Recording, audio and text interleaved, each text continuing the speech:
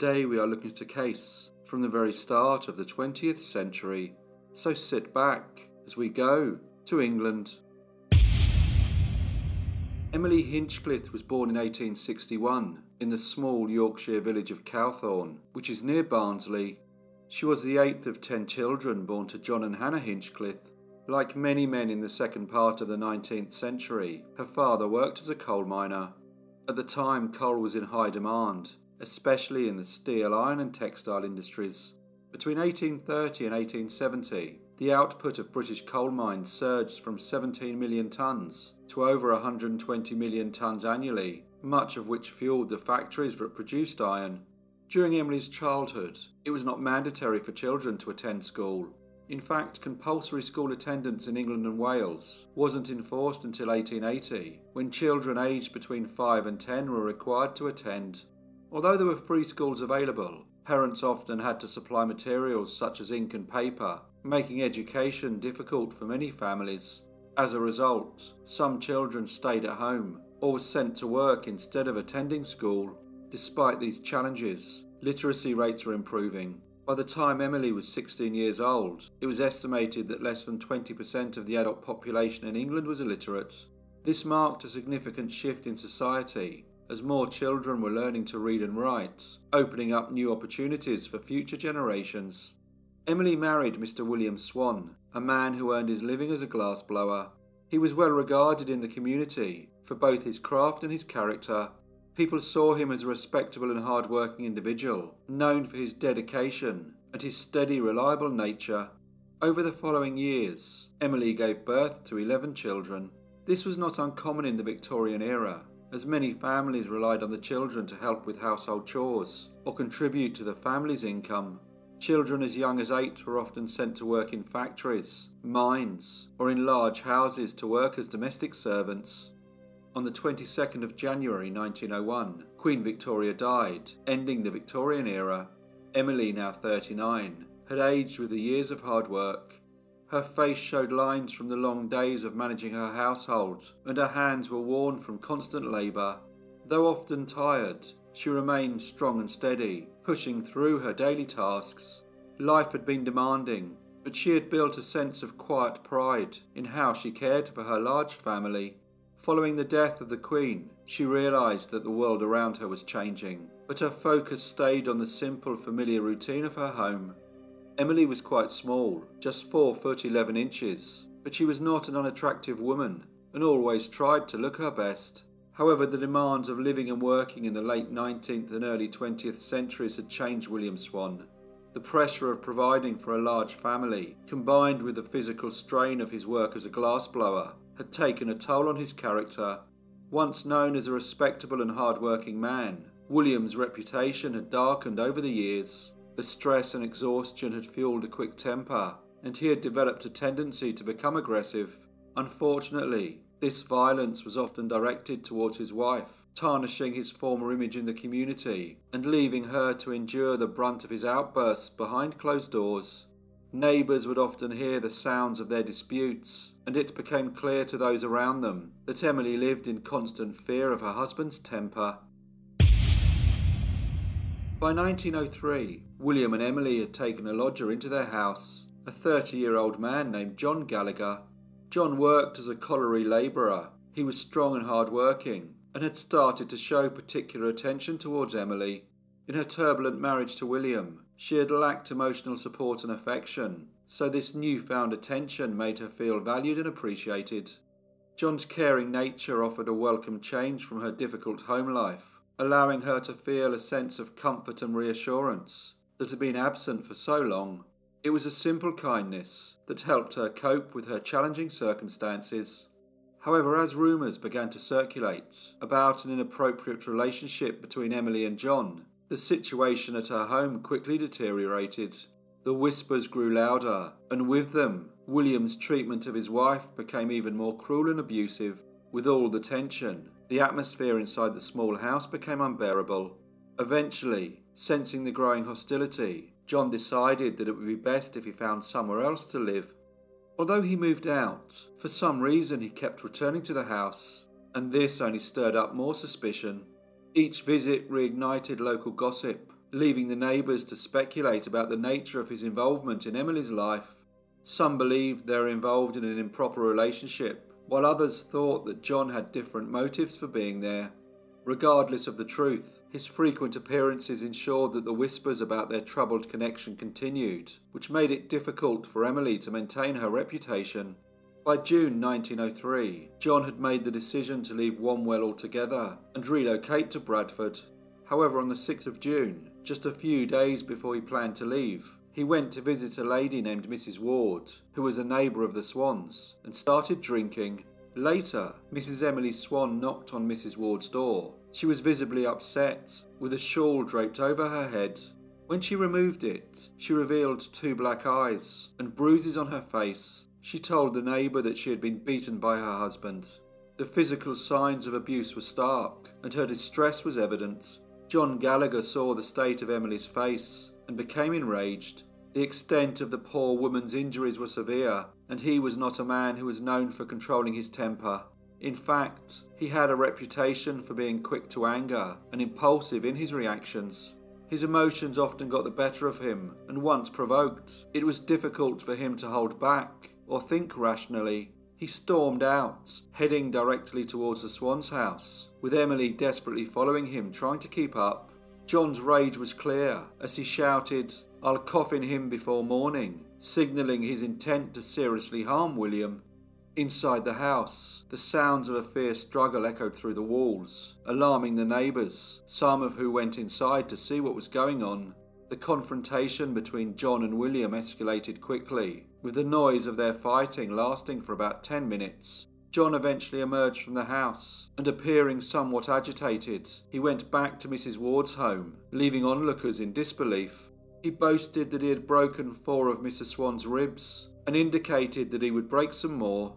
It was apparent that his anger hadn't subsided, and moments later he announced that he would finish him off before he went to Bradford. He then returned to the Swann's house, yelling in a loud voice, I'll murder the pig before morning. If he can't kick a man, he shan't kick a woman. As neighbours followed him inside, another fight erupted, and sounds again emanated from the property. A few minutes later, the tension outside seemed to dissolve into an eerie calm. Emily and John emerged hand in hand, their behaviour completely at odds with the brutality that had just unfolded. Neighbours were shocked by the sudden shift and described the couple as displaying every sign of affection, as though nothing horrific had just occurred. However, behind them, inside the house, William Swann lay dead. Unfazed, John and Emily calmly walked towards Mrs. Ward and confessed what had happened. Meanwhile, word of Mr. William Swann's death soon spread, and police arrived at the scene. After seeing the dead man laying on the floor, they arrested Mrs. Swann. But when they looked for John Gallagher, they were unable to find him. He had disappeared. He was missing for two months before he was arrested in the town of Middlesbrough and brought back to Barnsley, where, along with Emily, he was charged with the deliberate murder of Mr. William Swann Police Superintendent Guest claimed that he could show that Emily had urged Mr. Gallagher to kill her husband by beating him to death. They were both taken to Barnsley Police Courts, where a gentleman named Mr. Riddle led the case for the prosecution. However, Mrs. Swann and Mr. Gallagher were unrepresented. Mr. Riddle asked them several questions about the death of Mr. Swann, and witnesses testified that Mr. Gallagher hadn't left the Swann's house voluntarily. He had in fact been expelled by Mr. Swann due to Mr. Gallagher paying too much attention to Mr. Swann's wife. The witnesses said that despite this, Mr. Gallagher continued to go to the house and visit Mrs. Swann. Some witnesses testified to have seen Mr. Gallagher hitting the deceased man, and also testified to have seen Mrs. Swann strike him down with a poker and shout, Give it to him, Johnny. It was noted that the deceased had 20 bruises on his body and police officers told the courts that when they apprehended Mr. Gallagher in Middlesbrough, he said, I might as well speak the truth. I never used the poker, but the woman did.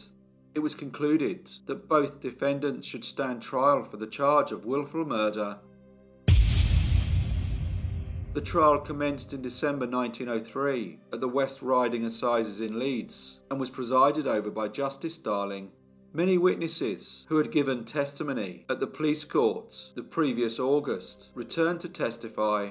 However, this time Both Mr. Gallagher and Mrs. Swann had legal representation, which allowed for a more structured and formal presentation of their case. Mr. Mitchell, the counsel for Mr. Gallagher, contended that on the day of the attack, his client had been under the influence of alcohol. Mr. Mitchell said that Mr. Gallagher's judgment and actions had been significantly impaired following an afternoon of drinking in the house of a neighbour of the Swanns, named Mrs. Ward. He added that it was only when Mrs. Swann came to Mrs. Ward's house and revealed her bruises that Mr. Gallagher became angry. Mr. Mitchell went on to tell the court that John Gallagher had acted under the combined influence of intoxication and provocation, and urged that due to this, his actions warranted a verdict of manslaughter rather than murder. Mrs. Swann was represented by Mr. Harold Newell. He argued that she had not encouraged Mr. Gallagher to murder her husband, and emphasised that her actions did not constitute incitement, and that she should not be held accountable for Mr. Gallagher's behaviour. The judge carefully considered the defence's arguments and, when addressing the jury, highlighted the principle that the individual who instigates for crime bears equal guilt to the one who carries it out.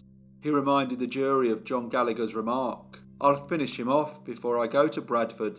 He said that this indicated his intent to harm, adding that the statement was reportedly made between the two altercations, after which he returned to the house and followed through on his threat the judge then spoke about the defendant, Mrs. Emily Swann, and looking straight at the jury, he said, It is my duty to tell you that one does not commit murder only with one's hands. If one person instigates another to commit murder, and that other person does it, the instigator is also guilty of murder. He then advised the jury to be aware of the importance of accountability in their deliberations. When the jury returned, the foreman announced that they found both John Gallagher and Emily Swann guilty of the murder of Mr. William Swann. Before sentencing, Justice Darling asked both defendants if they had anything to say.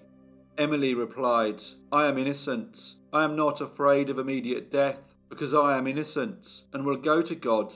Justice Darling then sentenced Emily Swann and John Gallagher to death. As the sentence was pronounced, all eyes in the courtroom seemed to be on Emily, yet to everyone's amazement, she remained completely unshaken. With a calm, almost defiant smile, she glanced at someone in the gallery and blew a kiss, as if death itself couldn't touch her. It was a moment of eerie composure in the face of an inevitable and grim fate. Following the sentencing, the judge again addressed the jury he wanted to make them aware of additional evidence that had been withheld to avoid prejudicing Mrs. Swann's case. He shared with them a statement made by John Gallagher when he was first arrested.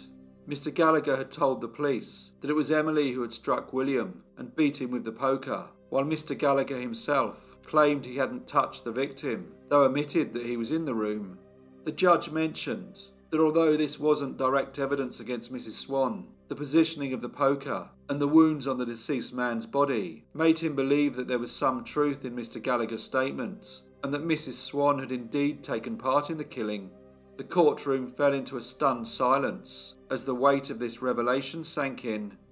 The case was seen as a display of fairness in the legal process, which had refrained from using such damning evidence in order to give Mrs. Swann a fair trial. The newspapers reported that even without this crucial piece of testimony, the jury had nonetheless still believed that Emily Swann was guilty of the crime. The prisoners were then taken from court to Armley Prison, from where they both appealed the verdict and their sentences. Emily, in particular, continued to protest her innocence and received guidance from the Protestant chaplain, while efforts began to get her a reprieve. Supporters claimed that a year earlier, in December 1902, Emma Kitty Byron had her death sentence commuted to life in prison following the murder of Arthur Reginald Baker, a gentleman whom she lived with and who had been very violent towards her. However, despite this, Emily's sentence was not commuted, and she and John were informed that they would be hanged together on the 29th of December 1903. By now, John Gallagher had come to terms with his fate and showed little emotion or resistance in the face of his impending execution. In contrast, Emily had been in a state of hysteria since her conviction, frequently blaming John for his indifference towards her plight, and accused him of being more focused on his own fate than on hers. Despite her outward despair, she continued to struggle with the weight of her actions and her role in the crime. She repeatedly expressed her deep concern to the prison guards about the disgrace her situation was bringing to her family. In one last desperate attempt to save her, Emily's friends and supporters made a plea to the king for clemency. However, their appeal, like many before it, went unheard. Emily Swann would hang just before going to the gallows. It was reported that she confessed her guilt to the chaplain. It had been decided that John Gallagher and Emily Swann would be hanged together, so in the morning of the 29th of December 1903, Emily stepped onto the platform. There she saw John already in position, a white hood covering his head. She looked at him and managed to say the words, Good morning, John, as they both prepared for their final moments. In what could be seen as a poignant or tragic gesture of affection, John Gallagher responded by saying, Good morning, love. And then, just as the trapdoor opened, he quietly said, Goodbye. God bless you.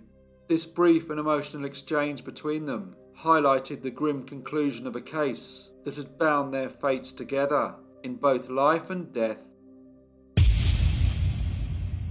Hello everyone, and thank you so much for watching. In this video, I mentioned the trial of Kitty Byron, and I covered that case in January 2022.